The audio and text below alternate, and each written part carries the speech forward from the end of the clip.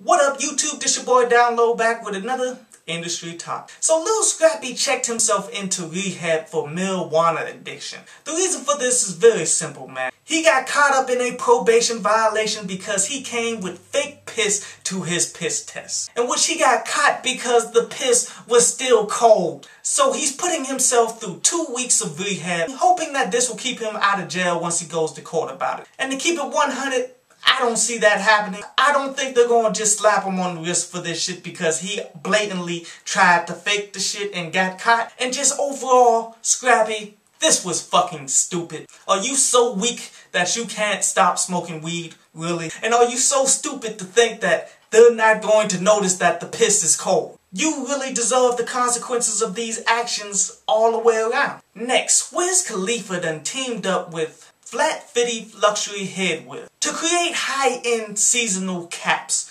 Pretty much doing the same thing what Dr. Dre did to the headphones to the hat game, I guess. And you know what, with his notoriety, man, it's a pretty good idea. Now, me personally, I'll spend $20 and some change on a fitted cap if it's a design that not many people out there got. But that's pretty much where I draw the line. I mean, I will pretty much never buy a luxury hat, but I'm not knocking the hustle, man. It's a little different than what everyone else got going on out there, and I hope he sees some success from it. And lastly, Lauryn Hill responded to a lot of the criticism that she's been getting about her latest track, Neurotic Society, in which you can look into the description. I posted up the link for it. Now, she pretty much goes into why she created this track, her inspiration, and the deeper meaning that's within it. But this definitely goes back to multiple things that I've said on the Daily Show multiple times, man. First thing is, she's doing what she's supposed to do.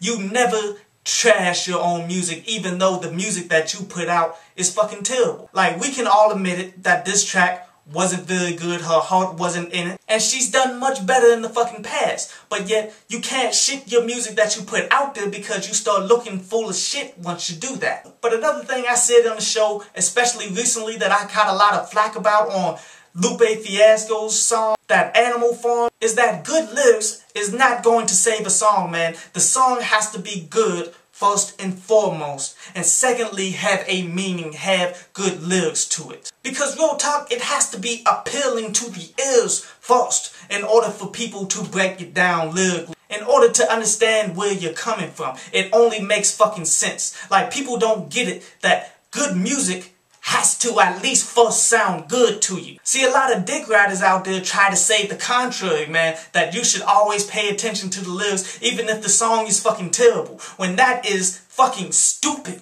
How the hell can good music not sound good? How the hell can good music not have good beats? These people are so focused on trying to make themselves be deep and understand deeper meanings that they go completely over the fact that the song wasn't good to fucking begin with. In which that is the most important part of every goddamn track, is that it's good.